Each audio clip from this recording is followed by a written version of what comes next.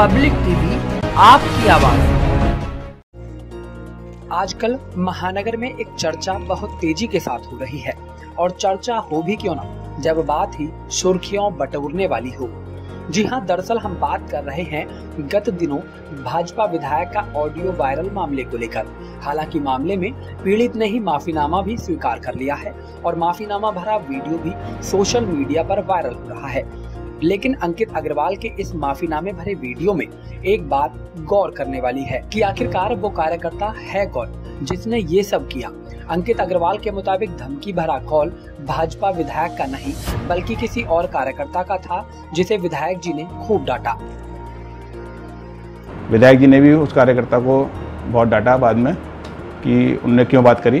कुछ गलत फहमी के कारण, कुछ मिथ्या प्रचार के कारण उनके लिए हमसे कुछ हो गया तो वह सब गलत है।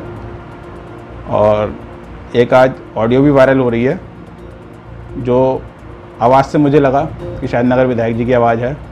लेकिन बाद में जब मेरी अभी थोड़ी देर पहले विधायक जी से बात हुई तो पता चला कि वो उनसे मिलते जुलते किसी और कार्यकर्ता की आवाज़ थी। विधायक जी ने भी उस कार्यकर्ता को बहुत डांटा बाद में कि उनने क्यों बात करी। और विधायक जी और मैं और हमारे सभी वैश्य मंच के साथी, हम सभी भाई हैं, सब साथ हैं। और आगे भी हम हमेशा विधायक जी का माननीय रितेश गुप्ता जी के साथ ही चुनाव लड़ाएँगे।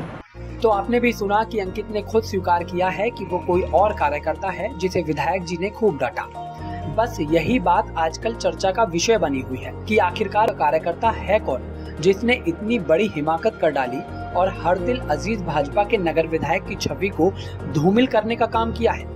वीडियो के मुताबिक नगर विधायक की आवाज़ में गाली गलौज की और विधायक जी की छवि को धूमिल करने का काम किया गया। हम तो बस यही चाहते हैं कि ऐसे कार्यकर्ता का नाम जल्द सामने लाया जाए, जिससे कि उसे सजा तो मिले ही, साथ ही अन्य पदाधिकारी भी उससे सतर्क रह सके। हालाँकि हमने अंकित अग्रवाल से इस विषय पर जानने का प्रयास किया, लेकिन संपर्क नहीं हो सका है। यदि पब्लिक टीवी इंडिया को उस कार्यकर्ता के नाम की जानकारी मिलती है तो जल्द ही उसे सामने लाया जाएगा। हाँ मेरे संज्ञान में आया है कि कोई ऑडियो एक चल रहा है और अपने कार्यकर्ता हैं अंकित अग्रवाल उनके नाम से वो ऑडियो चल रहा है।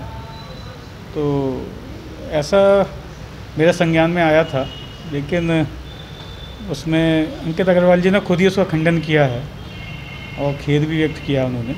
नहीं, उनका कहना था कि मेरे को कुछ गलत फहमी हो गई थी और वो खुद ही कह रहे हैं कि वो विधायक जी की आवाज़ नहीं है। मेरे को ऐसा लगा कि उनका है। तो मेरे द्वारा कोई ऐसा बातचीत अंकित अग्रवाल जी से नहीं हुई थी। और उसमें वो स्वयं भी इसको खंडन कर रहे हैं। और अंकित अग्रवाल हमारा कार्यकर्ता है हमारा साथी है। हाँ जी। नहीं नहीं मेरे द्वारा कोई कार्रवाई नहीं की जा रही है। और कुछ भी नहीं है उसमें। सब ठीक है सब लोग एक हैं कोई दिक्कत नहीं। पब्लिक टीवी आपकी आवाज़।